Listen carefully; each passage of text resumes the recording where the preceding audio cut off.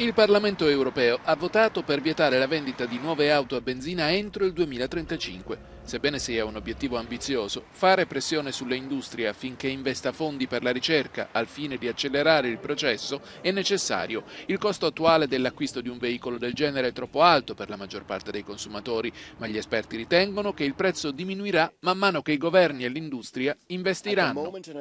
Al momento un'auto elettrica è ancora una proposta troppo costosa per un consumatore, ma con il carburante a questo prezzo attualmente il vantaggio è evidente. Ci vuole davvero uno sforzo statale mondiale, bisogna fare uno sforzo paneuropeo per sovvenzionare lo sviluppo di veicoli elettrici.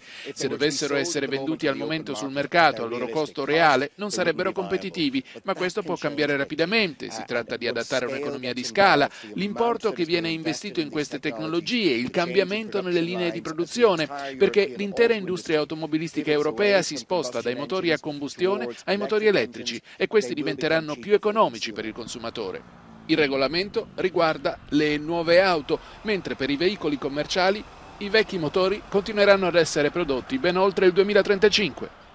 Ci sono anche domande su come garantire che le reti di ricarica siano facilmente accessibili pubblicamente e per la guida su lunghe distanze. Ci sono domande sulla natura ecologica delle batterie per auto e c'è un consenso però sul fatto che il passaggio ai veicoli elettrici sia di gran lunga la soluzione migliore per l'ambiente.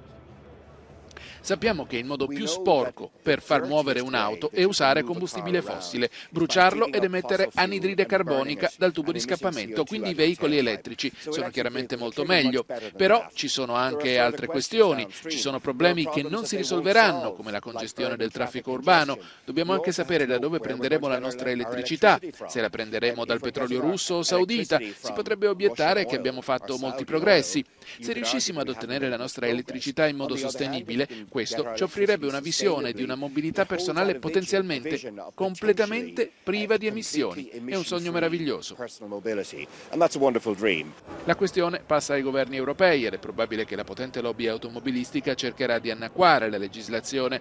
Il ministro dei trasporti tedesco ha espresso opposizione, mentre Volkswagen afferma che l'obiettivo è raggiungibile.